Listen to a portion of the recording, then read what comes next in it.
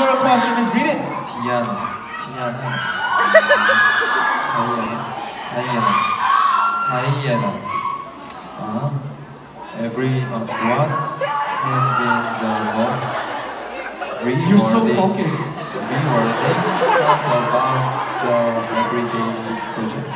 Alrighty, let me read that one more time. What has been the most re- rewarding part about the Everyday Six project from Diana East Lansing, Michigan? Every DAY6 프로젝트 중에서 가장 보람찼던 일은 무엇인지 어, 일단 저희가 제가 생각할 때는 어, 만족할 만한 것들이 굉장히 많이 저희가 썼다는 거. In my opinion, there was a lot of good songs uh, that we wrote. 그리고 어, 저희가 마지막 12월 것 같아요. 어, 시, 저희가 12월 9월까지 다 만들었어요. We are ready. I am ready. 네. The songs are ready until the uh, December one already. 굉장히 만족을 합니다.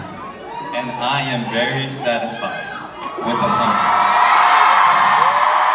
제가 때 1월부터 12월까지 처음과 끝을 잘 맺을 것 같아서 굉장히 기뻐요.